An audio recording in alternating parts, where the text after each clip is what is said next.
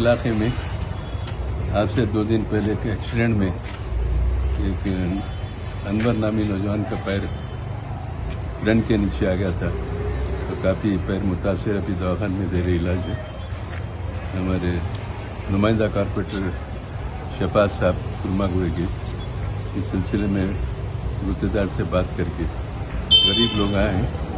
उनके लिए नुमाइंदगी के और एक लाख रुपए गुत्तेदार की तरफ़ से बच्चे के दिया गई अभी मेरे हाथ से वो रकम दी गई है।